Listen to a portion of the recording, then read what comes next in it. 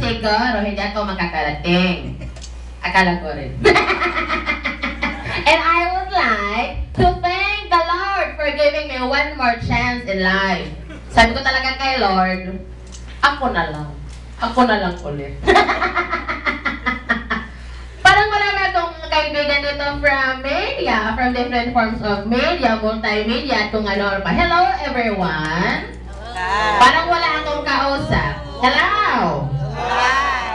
Good. Sino dito yung mga nagsulat nung namatay ako?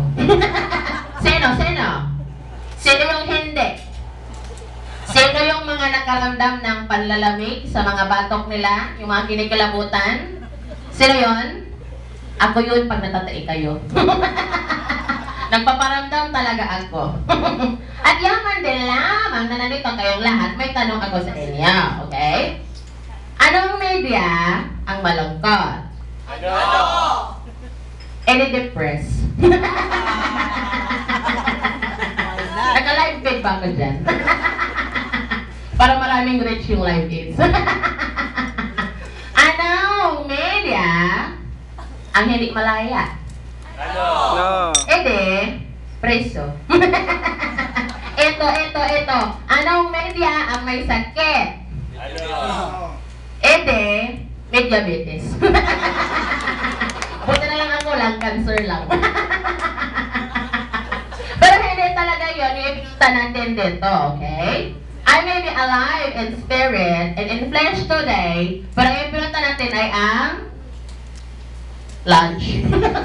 hindi, ang live is, so palagpagan natin ang live is. Kasi kung walang live is, wala din ako dito para mag-promote. Laking pasalamat ko talaga, honestly.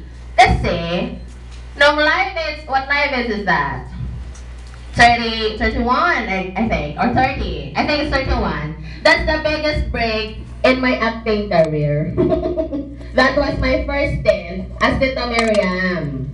And um, nagpapasalamat talaga ako kasi nagkaroon ako ng maraming racket at trabaho. Pero gusto ka rin magpasalamat sa